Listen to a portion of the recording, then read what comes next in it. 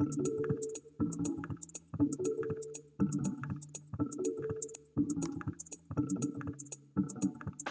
right, so good morning, or Ohayo gozaimasu for friends from Japan.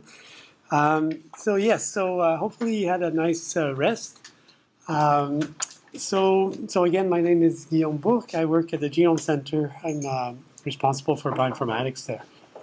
Uh, so I thought actually I would start with a quick uh, summary slide of the workshop as a whole. So this is actually not in your uh, in your slides, so you have to look up. Uh, it's not on your folder. So I added this slide uh, just to give uh, sort of an overview of what you did yesterday a bit, and also of what we're going to do today. So, uh, you know, so there's really two components. So, so to disease, but so there's a genetic component, uh, which is really what you saw yesterday. First with with Mathieu, who presented some basic processing uh, and with Sergey, who did more on the variant calling and the annotation. So this is really sort of focusing on the genetic aspects, and um, you know, and we covered quite a lot of ground there. Uh, again, part of this, if you're a bioinformatician, hopefully that's helpful. If you're more of a clinician, it gives you a sense of the kind of data processing that goes in uh, to really extract these genetic variants and, and generate these uh, these VCF files that you can then look uh, and, and, and, to, to try to understand disease. Uh, so today we're going to focus on uh, the more the epigenetic uh, component of disease. Uh, so, so in my module, module five, I'll do an overview of some resources, and then Andre will do something similar to what we did yesterday, which is uh, sort of look at some examples of really data analysis and data processing for epigenetic data sets. Um, yesterday, you also had, I think, a very nice overview of, of both sort of, of, of, of how we use these data sets, really. So first, the module one with, with Mike, who talked about phenotyping and the importance uh, of really using ontologies and, and sort of control vocabulary to really describe disease, which is what enables then a lot of downstream application and, and, and enables computers really to uh, to explore these phenotypes. Uh, you also had, at the end of the day, if you were still alive, uh, a module on clinical implementation and, and looking more at uh, how do we take some of these uh, processes that we do in the research context and really develop them in the lab. And, and today you're going to have another uh, module also at the end of the day with Anna that's looking at uh, again, how do you use these genetic and epigenetic signatures to, to build classifier to say this particular individual? So I thought, you know, so we, again, we're, we're covering a lot of things, uh, and hopefully you see the connections, and I thought I, would put them out like this just to help you. Um, but again, so like in my module uh, this morning, we'll focus on uh, just available epigenetic resources. Uh, so, so what are the uh, learning objectives of this module this morning? Uh, so understand why epigenomic is important for gen genomic medicine. Um, be familiar with epigenomic profiling technologies. I won't go in detail, but just, uh, just so that you're familiar with that. Know relevant uh, data and web resources, uh, and then be able to find. So in the practical, um, this is going to be more like a web-based practical, unlike yesterday, uh, really just exploring available uh, resources. Uh, maybe before, before I start, so again, yesterday was genetics in terms of epigenetics and RNA-seq. So who, maybe raise your hand if you have experience with epigenetic data sets or not a lot. Okay, so Um, yeah, so I mean, but, but this this particular, especially my section, will be uh, really an introduction to some of these concepts. So first of all, so why is uh, why are we including epigenomics and epigenetics as part of this module on epigenom uh, on genomic medicine? Uh, so I mean, I, am sure everybody's familiar with this, but of course, uh, genes and, and coding sequences only account for roughly 2% of the genome. The, the rest and the majority of the human genome is really about uh, regulatory elements, things that actually control expression in different cells. Um, and just to give you now a more concrete example of what that means, uh, this is an example of a study that we did. Uh, so yesterday was mostly about, so this is cancer, unlike yesterday where we were looking at uh, rare disease, rare genetic, but in cancer, if uh, we now have the ability, of course, to, to sequence uh, tumors. Uh, so this is a study where we sequence 100 kidney tumors hoping to look for patterns of mutations uh, and recurrent mutations and identify pathways that are relevant. Um, so you see that so in this in this representation, every square represents a thousand mutations that we discovered across these hundred tumors. Um, so you see that we, so we, we identified because again, there's lots and lots of mutations. This is related a little bit to uh, what Mike was saying yesterday, but there's lots and lots of mutations, uh, and in cancer in particular. And so you see that we identify roughly half a million, over half a million mutations in these 100 tumors. But, if you look at the, the fraction of these mutations that are hitting genes, that are encoding sequences, those are the ones in, in orange. So you see that only, as you would expect, only a small fraction uh, of all the mutations that we detect in these tumors are coding. And so those can be easily annotated in terms of which genes do they hit, you know, what's the impact and so on. But what about all of the other mutations? And and similar to yesterday, I mean, it's expected that the majority of these are, are, are passenger mutations or not important mutations. Uh, that's true for both the non-coding mutations and the coding mutations. Uh, but but it's, it's also true that, that probably, you know, buried somewhere in there, both in the coding and in the non-coding, some of these mutations are important. So being able to annotate uh, using epigenetics uh, and, and, and, profiling of chromatin, not just uh, express sequences, but also regulatory sequences, is going to be important to, to annotate these uh, these regions, uh, these mutations. Sorry. Um, another another important thing, um, and and why epigenomic and epigenetics is important, uh, and this is more similar to what Andre is going to talk about after me, is that uh, epigenetic actually captures a lot of other things beyond genetics. Um, just profiling, if you're profiling gene expression, for instance, uh, independent of the genetic mutations, you can see and identify, and this is a, a famous uh, paper by Perou et al., you can identify subtypes of tumors. Uh, again, this is in cancer, but you can, this is also true in, in, in various complex disease, but you can identify subtypes uh, at the level of epigenetic that again might be informative in terms of treatment and, and classification and so on. So um, these the, epigenetic signature uh, again capture can capture both the combination of the environment, a combination of, of, of, genetic variants. There are some genetic variants that lead to very extreme deregulation at the epigenetic level, and again you can you can capture that. So um, so it's useful for annotating non-coding variants, and it's useful also in some case to, to actually classify patients in different groups. Uh, and that's a bit, again, what you'll see uh, later, later today. Um, so moving on a little bit to the, the technologies, and again, I, am not going into that in detail.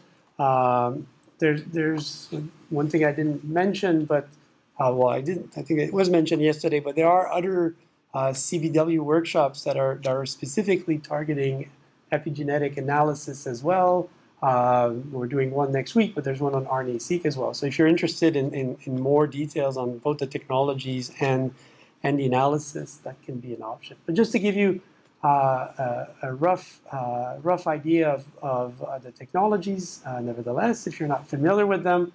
Um, so you know, yesterday we were just shearing the DNA and sequencing DNA directly. Um, here we're, we're enriching for specific, uh, specific uh, DNA fragments. So if we're interested, and this plot shows uh, we're interested in P53, which is our protein of interest in this, for this particular uh, application. So we have an antibody that pulls down uh, fragments that are uh, DNA fragments that are attached uh, so there's uh, two, uh, two P53, and we basically enrich for DNA fragments. So there's different step of, of, um, of actually, um, with, you know, first you actually uh, you link the, the, the, protein to DNA, and then you remove the protein, and then you're left with uh, DNA fragments that were enriched for uh, regions that were bound by a particular protein of interest.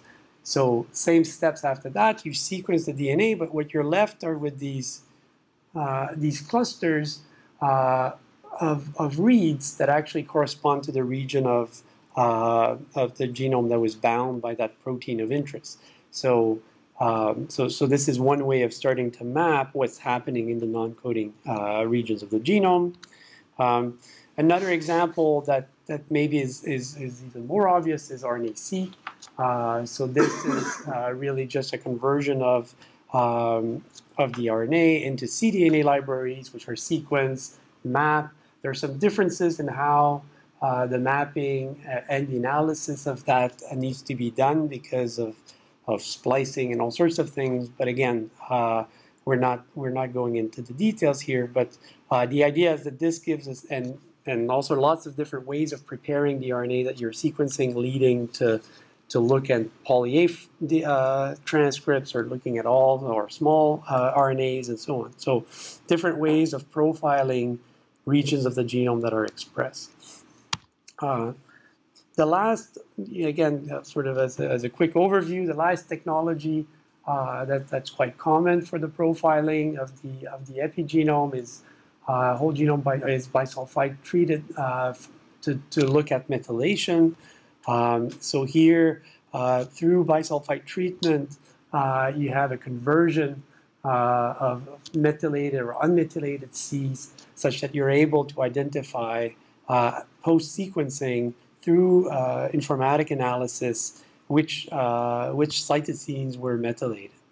Um, again, so so not going into that uh, in detail, but that's just uh, th those are the technology, the main technologies that are that are used.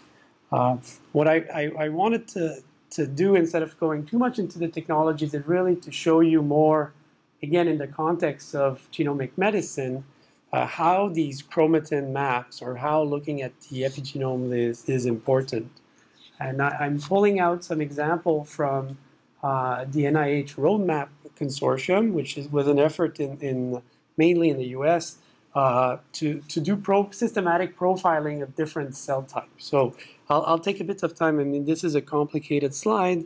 Uh, I'll take a bit of time, and I can't even basically, uh, I'm struggling to read it itself.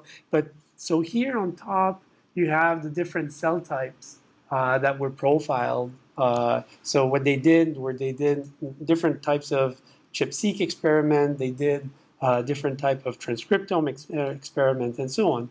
And they use that to, to define which region, again, non-coding regions, corresponded to uh, enhancers in these different cell types. So on, on, on this axis, top, you have the different cell type. And on this axis, what you have are different traits uh, that have been mapped uh, through GWAS. So, so yesterday, um, uh, Mike mentioned GWAS a little bit. So GWAS identifying regions um, that that associate with uh, with the disease. Uh, many of the GWAS hits uh, are not in genes, end up being non-coding. so, so what the GWAS hits for these different traits highlight are regions, again, typically non-coding regions, um, that are associated with a particular trait or particular disease. So if we look, um, you know, if you look, for instance, one that has all of the, these red dots is inflammatory bowel disease. And, and, and what the heat map shows is, you know, where, um, where, so the hits from the GWAS, where are they enriched? In which enhancer are they enriched? And you see well, it's a bit hard to see because it's very small, but typically, or maybe a better example is this one here. Uh, so here, for instance, you see that these are, this is liver cells, if I'm reading this correctly. Uh, and you see that enhancers, so, so GWAS hits for cholesterol, uh, LDL, cholesterol, lipid, all of these GWAS hits are actually enriched in uh, liver uh, enhancers. So, so this is a way of sort of refining uh, and sort of giving more information about these GWAS hits that are uh, that are non-coding. Uh, and so there's a good association, and it can help pinpoint, in some case, uh, the cell type that's relevant to that disease, but also more specifically, the, the DNA region that's, that's associated. Um, the next example is, is hopefully even more concrete. Uh, so this is also an outcome uh, of, of doing this uh, deep epigenomic profiling. So this is um, a, a, neat example because um, this is, uh, hopefully I remember, so, so as you see, so this is a GWAS hit for obesity. Uh, and, and the GWAS hit for obesity uh, that was identified was, was in this region here. Um, and you see all the SNPs that are in very close LD to that SNP are shown in color. So you see that the hit is, so there's, there's an associate, genetic association with obesity that is in, in this region. And following this finding, um, and I forget now what FTO stands for, but it's, um, I forget the, the, but, but basically uh, a number of, of pharmaceutical program actually were designed and built around trying to see what this gene had to do with obesity because again there was this very strong association in one of the introns of this gene.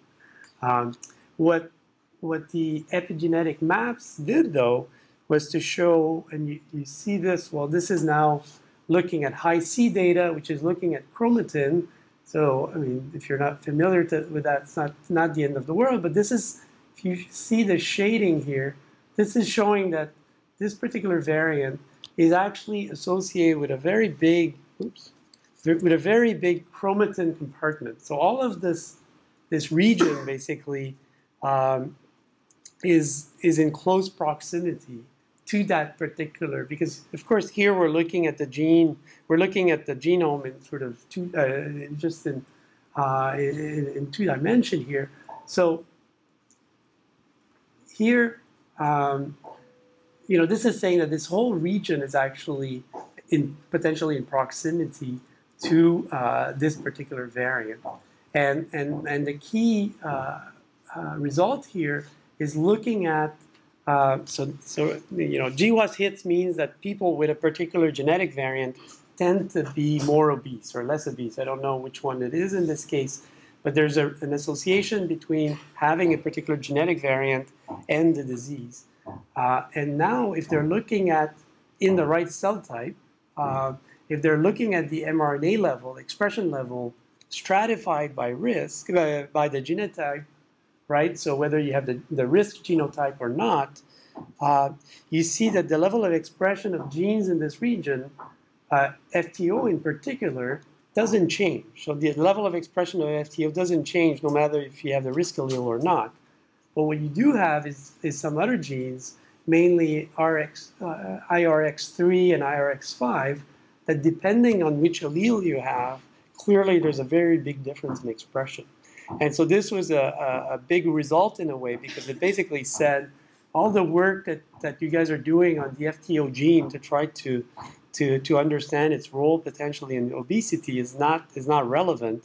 The, what's really happening in this region and the reason there's an association is, has to do with the control of those other genes and those other pathways. And so it was a big, uh, big deal in terms of a result showing that, you know, uh, annotating the variants, it's, it's really helpful to have this type of epigenetic data in the right cell type to really sort of annotate correctly, basically, because otherwise you're left saying, well, the, this variant is probably affecting that gene, but you don't really know. It's sort of a guess. So the epigenetic information helps you to, to, to, to identify that. All right. Um, so, so hopefully I, I've convince you with those uh, that example uh, and that intro that that looking at epigenetic is is uh, relevant uh, in the context of disease. So one one way is to to generate data yourself that's relevant, but but the, the goal of this module is really to also talk about existing resources that you might be able to to integrate and use already. Uh, so, so one challenge with, with the epigenome is that there's many epigenomes, right? So it's enough to sequence the genome of an individual, Um, but but each of his cell type will express different gene, will have different chromatin configuration, and so on. So, so just like having a reference human genome is helpful, having sort of the reference of what's expressed in what cell uh, is also going to be helpful because then you can say in disease you have a deregulation of that gene or something like that. Um, but how do we do that type of profiling? So um, so this work really started with, with ENCODE, which uh, consortium that you, you might be familiar with. This was really at the level of developing these ChIP-seq and RNA-seq technologies. They were developing the technologies and then applying them mostly in cell lines. Um, since then, there's been other consortium, the NIH roadmap, I was talking about that, where they started to do profiling now in, in stem cells and, and various ex vivo tissues. And, and this work continues now in, in what's called the International Human Epigenome Consortium. And the challenge, especially if you want to profile human cells, is, is to get human cells, right? So I don't know if there are volunteers for giving out brain cells, uh, but it's like so it's not it's not easy to have cells from all the different tissues. So typically, uh, this is linked to different operations or something like that, where they have access to tissues, and then you know, uh, you know, at the same time, they try to do the profiling uh, of, of these various different cell types. So this is uh, a large effort, uh, an international effort that involves people in the U.S. Um, so we're one of the mapping center in Canada. There's another one at the Genome Science Center in BC. But you see that there's partners in Europe, in Asia, and again, we just tried to basically coordinate that. Um, we, we we generate in similar ways uh, epigenetic data in as many tissues as possible and then uh, pool the data together. And so that's what I'll talk about a little bit.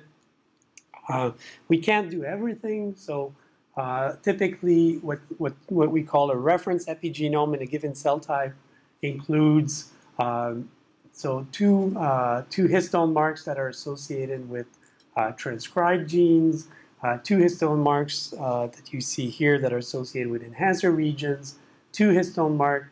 Um, so I didn't go in detail, but these are all ChIP-seq data sets that pull down histones that have these particular marks.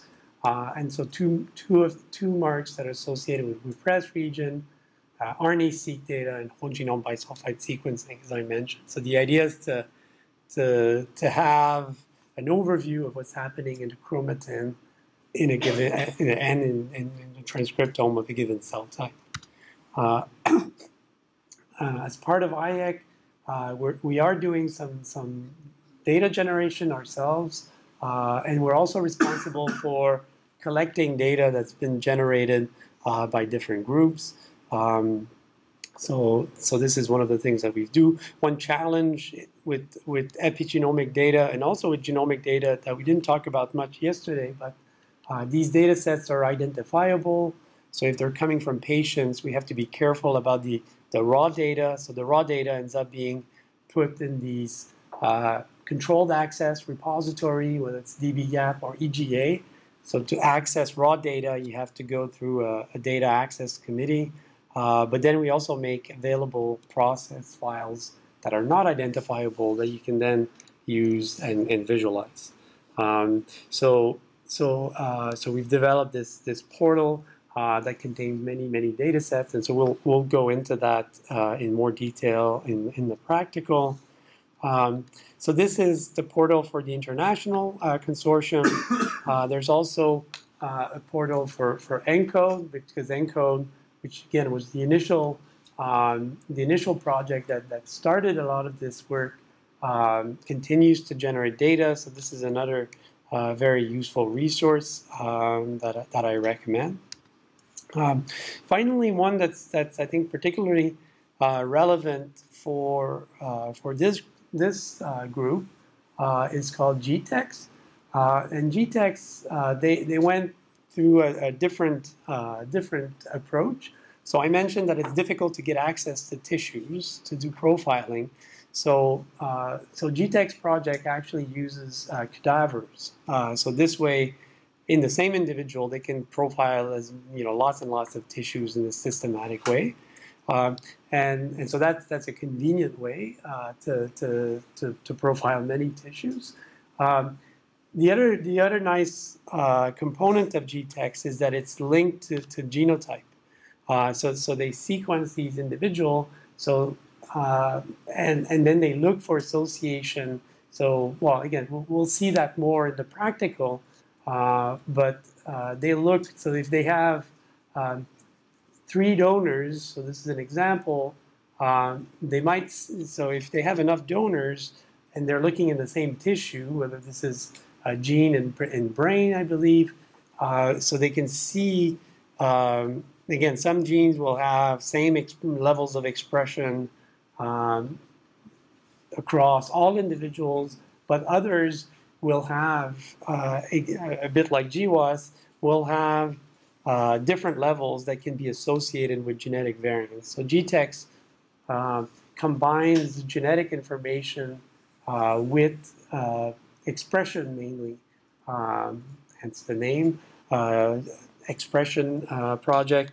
And, and so that actually allows you to identify genetic variants that in a given tissue are associated with changes in expression. So that again I think can be very useful resource and annotation. So that's what we're gonna uh, look at.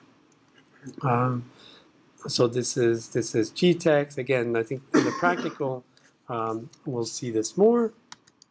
Um, so, uh, and the last one that I hit here, uh, this is just one, and there are many others, but this is one of the repositories that has a lot of the underlying uh, raw data. So again, um, you know, if, if, you're interested in expression in your particular system of interest, um, it might be good to look to see if there are other data sets already uh, that you can use or that you can compare your data with. Um, uh, and that's that's one of the resources. Um, okay, so I'm, I'm almost uh, done with the uh, the overview, but uh, just again a little uh, a, a little idea of what uh, we're going to be doing in the practical. Um, so we're going to be looking at the data portal and how to find uh, data sets there. Um, so, so I mentioned, but there's different consortium that contribute data sets, whether it's the roadmap or it actually even the ENCODE data or some of it is also included here. Uh, what's more relevant is um, is that these come from different tissues and, and also uh, are associated with different types of assays. Uh, so we will navigate a little bit. This is a different view of the data, so this is uh, really what we're going to be looking at. Um, from here, um, you can you can directly visualize the data. So typically, uh, epigenomic data will. So so this is um, can't can't even read. So this is a histone mark. Um, so typical ChIP-seq data set looking at uh, H3K27 acetylation. So this is the profile. If you remember uh, the slide I showed you on, on these clusters. So again, uh, this is an example of just visualizing the, some of the data. UCSC Genome Browser. Uh, there's other data uh, browsers uh, specifically for epigenomic data uh, WashU uh, being one of them. Um, so that uh, actually has some nice features that are that are missing from the UCSC browser, uh, and specifically for for epigenome. Um, as part of the IHEC data portal, you can not just visualize, you can also download the data. We're going to do a bit of that. Um, this is an image of the ENCODE uh, data portal. Um, similar things. I mean, there there's just so much data that uh, you know a big challenge is to build interface that actually allow you to navigate and find what you're looking for uh, easily. The ENCODE uh, portal is, is quite nice for that. So again, that's that's one of the things that we're going to do. Um, uh, GTEx, a slightly different view. So um, I think, uh, so this gives you an idea of how many data. So they profiled 50 tissues. They have 500 donors. This was uh, a short while back. Uh, I think there's been a new release since then, so we'll see that on the portal. I think they have more data now, but still, they have 500 individuals. they've profiled 50 tissues or whenever possible. Sometimes there's some, some failures. Um, but, but it really allows, uh, so you see the, the number of samples in the different tissues. Some tissues end up being easier to, to process than others. Um, my last, uh, my last sort of note of caution before we go into the practical is to say that even though these international consortiums do as best as they can to, to quality control and to only release a good data set, uh, there's still some, some variable levels of quality in data sets that you might uh, find out there. So I think it's important to keep that in mind.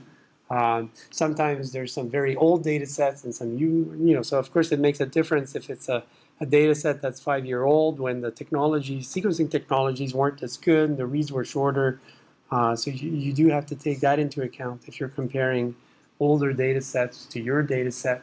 So in some case, um, it, it, might still be a good idea to, uh, to, a bit like was done yesterday, to go back not just to the process data, but to the raw data if you can, and, and, and, and really sort of redo the analysis and re, uh, recheck that, that everything is good. But, uh, um, you know, one, and, and this is one of the things that we'll do in the practical, one thing that we've tried to do in the, in the data portal that we've done uh, is to, to add a few QC metrics. And there's similar metrics actually in the ENCODE portal as well. So there are sometimes some QC metrics that are associated with the data set.